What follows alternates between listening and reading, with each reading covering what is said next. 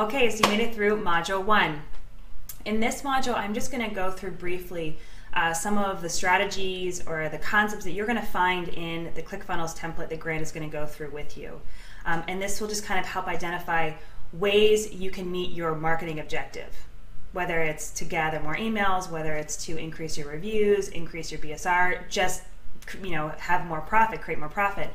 These are just some of the ways um, and techniques that you're going to find in the ClickFunnels. So the first one um, is email capture, which we talked about a lot in the previous module, um, but it's it begs repeating. Your your landing page, its primary purpose is to get their emails to capture it, and why this is so important is it is now yours, and you can use that that email list that you're building to retarget them later when for further launches. You can also use it in Facebook to create a lookalike audience. So you gather those characteristics, and then you can start marketing even more to you know that audience.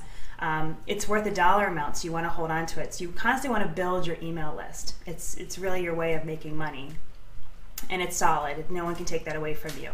So email. So, so your landing page specifically is going to be for email capture, and then you can funnel them into a sale. But that's kind of what you want. Um, another thing that you're going to see in the ClickFunnels uh, template that Grant's going to go through is the concept of a lim- limited time offer.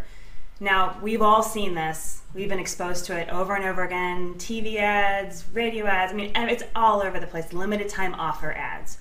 Why are we so exposed to it? Well, because it works. I mean, when you are presented with an offer that is of interest to you, that you really like, and then someone says, you have 24 hours left to do this. You have 10 more minutes.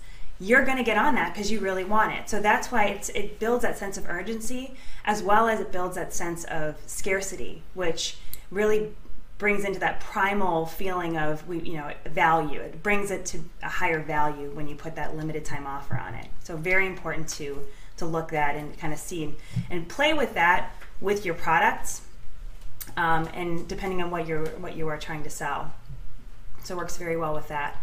Um, we're going to go into the concept of giveaway and also you know using it at using your landing page as a deep discount. So when you talk about giveaways, when we talk about giveaways, we are using it primarily for again email capture. And when you're doing a giveaway, three things that you really need to consider would be the relevancy, uh, the how appealing it is to your customer, and that they would be willing to buy it. So you need you, you need to have a killer killer giveaway in order for you to capture their email. Um, we use it as kind of a lottery um, aspect, so we may have a really awesome giveaway gift that's relevant. You know, we use the example of an artist community, and we have this phenomenal set of paintbrushes. You know, and we say, okay, we're going to give this away give us your email. We're going to put you in, uh, and you may win this. While they're on that landing page, though, we can now upsell them and drive them to another page that says, well, just in case you don't win, here is the same you know package of phenomenal paintbrushes for 40% off or 50% off. Um, and if you win, we'll refund that money. So you've you've captured them, you're drawing them in, you're pulling them through the, that, that funnel. So that's what that giveaway does. It just entices them and pulls them in. So very very powerful as well. Um, the deep discounts. You know, when you create your landing page and you have your product image and you do that, you know, 40, 50, 80% off, that deep, deep discount, uh, we generally use that for a product launch, you know, so you don't, but it's a targeted product launch. So we've already identified who our audience is, we know that they want this product, so we're more likely to get reviews, um, and they're more like to more likely to come back. So it is we use it as a product launch to you know to, and also to to boost our BSR.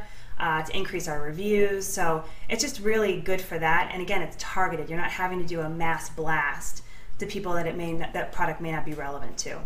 So, deep discounts. Um, I think that's that's it, and we're going to go on to the next module, and Grant will take it from here. Well, that concludes this module. We look forward to seeing you in the next.